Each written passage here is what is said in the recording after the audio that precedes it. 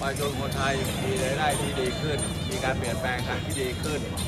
แล้วก็ให้งานทุกอย่างเนี่ยสำเร็จไปได้ด้วยดีนะ วันนี้ผมถือว่าเป็นครอบครัวใหญ่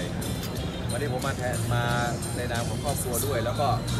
มีโอกาสลอยให้กับคนอื่นด้วยที่เขาไม่มีโอกาสจะได้มาลอยไงบางส่วนเนี่ยเขากลับไปลอยในครอบครัวบางส่วนก็ไม่ได้ลอยเขาเข้าเวรเข้ายามอะไรต่าง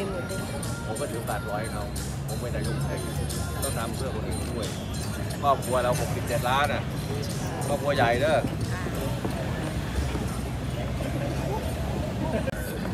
ต้องเขาเรียกอะไรนะจะมันมีไลท์ต้องเจ้าแม่คงพาพ่อแม่คงพานะนะขอบคุณนะที่มาร่วมมือร่วมกันนะขายให้คนอื่นเขาด้วยนะเก่งนะแต่ต้องสูงยืนกว่านี้ได้ยังข้างหลังยังไปยกสักนิดนิดนึงเออ